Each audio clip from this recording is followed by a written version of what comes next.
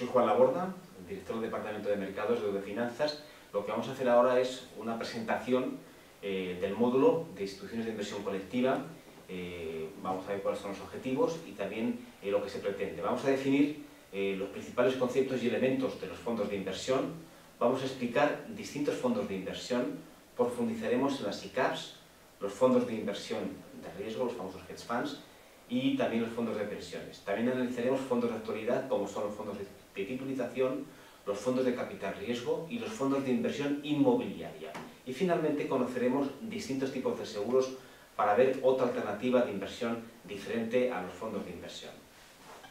Básicamente, eh, las instituciones de inversión colectiva son aquellas que tienen por objeto la captación de fondos eh, de cara a gestionarlos para invertirlos en, qué? en bienes, derechos, valores o otros instrumentos que siempre el rendimiento de la inversión se establezca en función de resultados de tipo colectivo, de ahí el nombre de instituciones de inversión colectiva. Básicamente son dos tipos de instituciones de inversión colectiva, las sociedades de inversión, que tienen personalidad jurídica propia, y eh, los fondos de inversión. No tienen personalidad jurídica propia, por lo que precisan para su constitución de la existencia de una sociedad gestora y de una entidad depositaria. Básicamente son aquellos que analizaremos en profundidad eh, a lo largo de esta presentación.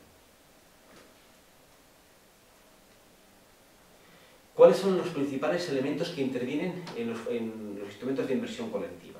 Lo que vamos a analizar. En primer lugar, los partícipes y socios.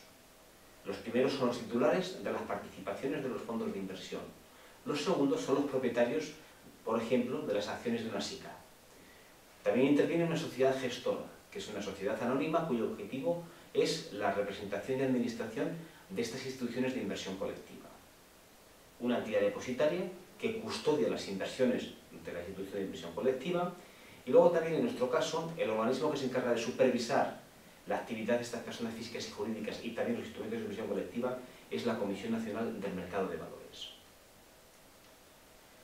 Eh, un concepto fundamental a la hora de analizar instituciones de inversión colectiva es el valor, la valoración de las participaciones en los fondos de inversión que se establece a través del NAC o valor liquidativo, que como veis ahí es una simple ecuación, el patrimonio neto, respecto al número de participaciones del fondo. Se va a calcular una vez al día con los precios de cierre de mercado. No tiene un número fijo de participaciones, varía diariamente en función de las compras y ventas de participaciones sin modificar su ya que el valor total y el número de participaciones varían en la misma proporción. Estos fondos, a su vez, tienen una serie de comisiones que hay que tener en cuenta en el cálculo del NAC en primer lugar, la comisión por gestión, que es la remuneración de los servicios prestados y que se aplica sobre el patrimonio gestionado. En segundo lugar, la comisión por depósito, que va a depender, obviamente, del patrimonio depositado. Y estas comisiones se incluyen en el cálculo eh, de lo que es el valor liquidativo, aunque se pueden cobrar otras comisiones adicionales, como son las de suscripción y reembolso a cargo del partícipe. Eh, además, hay una serie de información que se tiene que dar a los partícipes un reglamento de gestión, un folleto explicativo, una información trimestral que elabora la propia gestora, hechos relevantes, cualquier hecho relevante hay que anunciarlo, una memoria eh, anual, también elaborada por la gestora, pero una vez al año, y también el estado de posición del fondo. Entonces se recoge el valor liquidativo del fondo a una fecha determinada. ¿Qué estilos vamos a analizar o existen a la hora eh, de estudiar estos fondos o instituciones de inversión colectiva? Básicamente tenemos una doble clasificación activa y pasiva. Una gestión activa, el gestor se encarga de comprar y vender valores para generar un rendimiento que supere a un índice de referencia, a un benchmark o índice de referencia. Este puede ser una composición en función del, perfil de riesgo o puede ser, por ejemplo, un tipo de interés eh, a corto plazo, el Euribor, por ejemplo, de manera que va a depender del tipo de gestión activa el superar o no a este índice de referencia o benchmark. Luego hay una gestión pasiva, Simplemente la composición de una cartera en el momento de su constitución sin alterarla.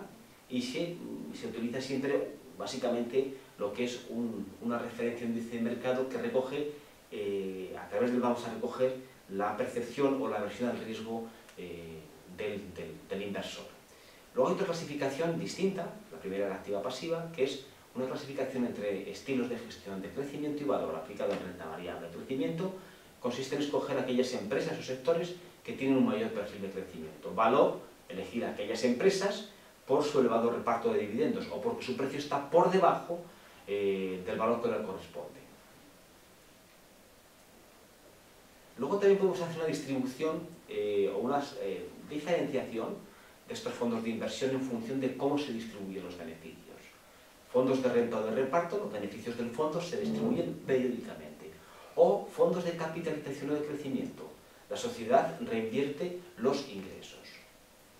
Podemos hacer una clasificación por la naturaleza de los activos que lo componen. Por ejemplo, fondos de inversión en activos del mercado monetario. Se centra específicamente en activos de renta fija a corto plazo. Fondos inmobiliarios. Invierten en la compra de inmuebles que deben conservarse en el fondo al menos cuatro años y que deben tener al menos siete inmuebles. Fondos, de, fondos garantizados. Se asegura la recuperación de la totalidad o un porcentaje del importe suscrito, más una cuantía de beneficio. O fondos, de, fondos que invierten en otras instituciones de inversión colectiva. También vemos fondos de inversión mobiliaria, hay multitud de ellos. Sus partícipes solo pueden ser eh, otros fondos. Fondos cotizados o, o, ETFs famosas, replican índices cotizando segundo a segundo sin necesidad de un gestor. Obviamente son de comisiones muy baratas. Fondos de inversión mobiliaria especial, eh, tremendamente especializados en valores no negociados. O, por ejemplo, fondos de inversión libre o hedge funds, que se caracterizan por tener una mayor flexibilidad en cuanto a su política de inversión, capacidad de apalancamiento, inversión mínima, utilización de posiciones largas y cortas en eh, mercados derivados. Vamos ahora específicamente eh, y brevemente a comentar algunos de los fondos eh, o de de inversión colectiva especiales. Unas son las famosas sociedades de inversión de capital variable o SICAPs.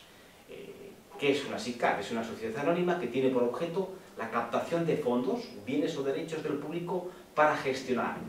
Hace falta un capital mínimo, hace falta un número mínimo de accionistas y se debe contar a su vez con la utilización de la Comisión Nacional del Mercado de Valores. Es muy utilizada por los grandes patrimonios debido a su tributación especial de los beneficios. Luego tenemos los fondos de inversión libre o hedge funds.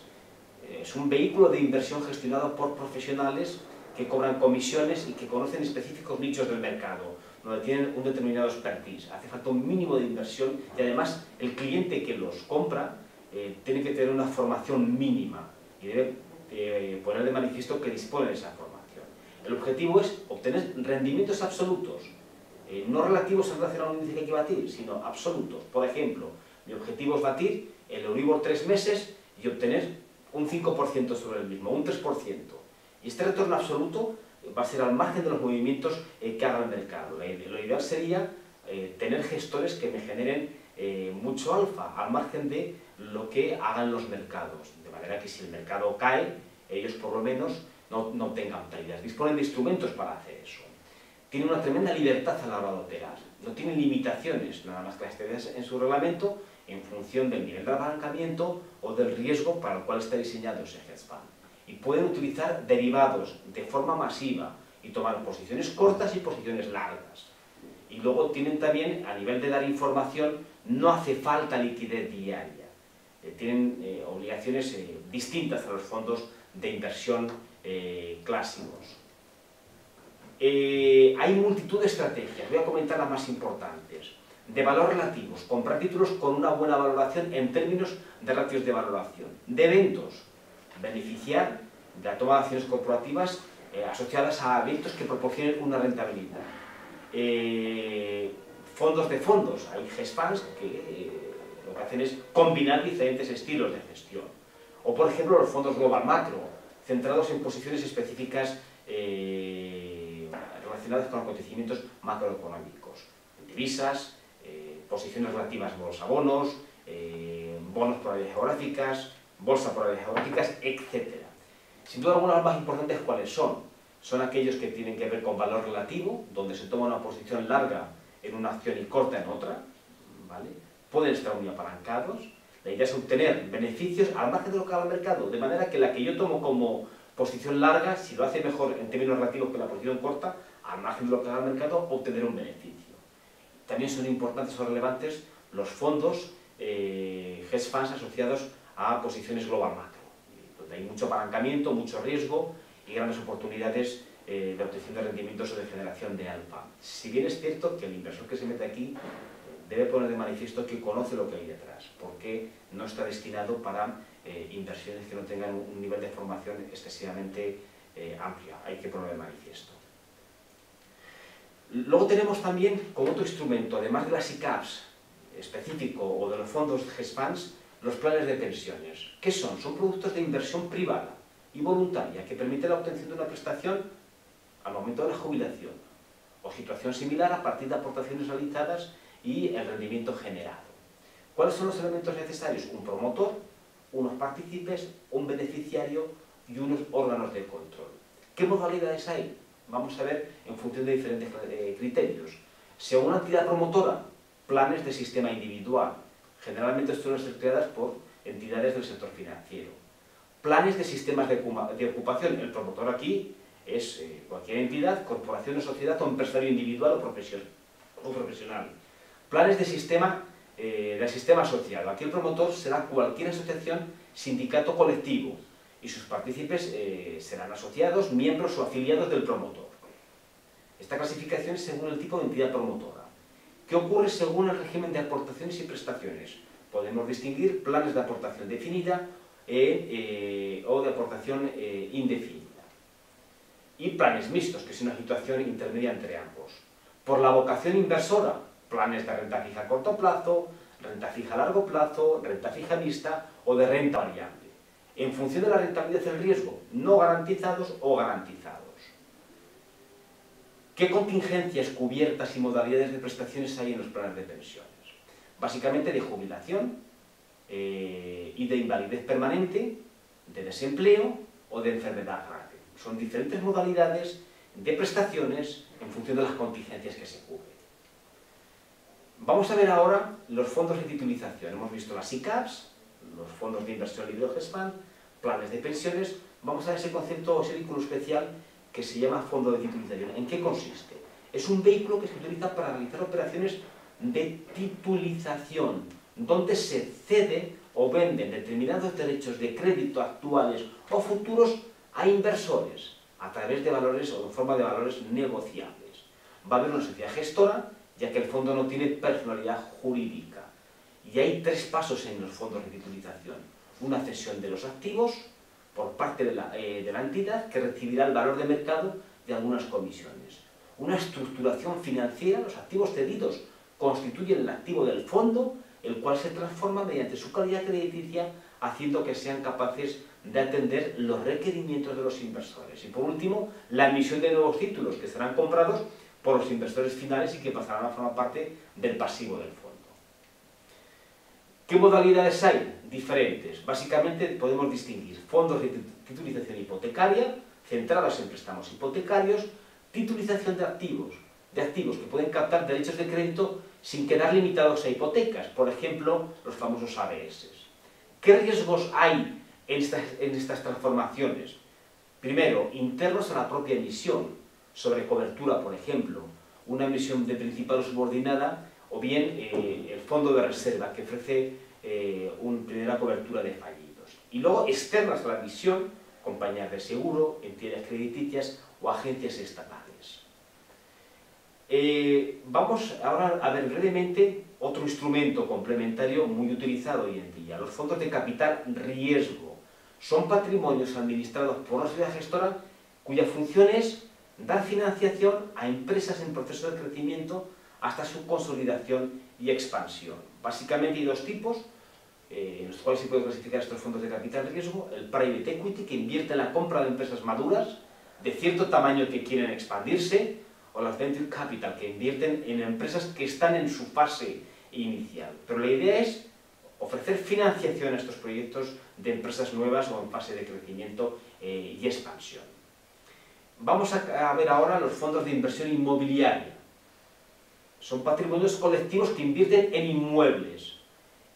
Lo que pasa es que hay unas características mínimas. No podrán venderse hasta pasados tres años de su adquisición. Deben tener un mínimo eh, patrimonio. Y el NAV será fijado al menos una vez al mes, porque no, hay una valoración diaria como ocurre con eh, un fondo de, inversión eh, normal que invierte en, renta variable o en, bonos del tesoro, en bonos corporativos que cotizan cara al mercado. Son una alternativa a la inversión en, eh, lo que es vivienda directa y pueden ser fondos abiertos o fondos cerrados. Vamos a ver finalmente el concepto de seguros. ¿Qué es un seguro? Es un contrato que se establece con una empresa aseguradora al cual denominamos póliza. Y la aseguradora se compromete a que la persona que compró ese seguro, si sufre algún daño en su persona o bien, recibirá la cantidad de dinero acordada en la póliza. Podemos distinguir, o analizaremos, como se puede ver en el ebook correspondiente, seguros de vida, seguros de enfermedad, seguros de empresas y seguros contra daños y eh, seguros patrimoniales. Con todo esto hemos, visto una amplia eh, análisis del conjunto de instituciones de inversión colectiva que disponen los inversores en nuestro país para eh, llevar a cabo proyectos de inversión, desde fondos de inversión normales clásicos, pasando por fondos garantizados, fondos de inversión libre hedge funds, seguros, planes de pensiones, fondos de titulización o fondos de inversión inmobiliaria. Obviamente, lo que tenéis que hacer ahora es profundizar en el ebook eh, donde se, ampliamente se desarrollan eh, todos y cada uno de estos instrumentos de inversión colectiva que hemos presentado.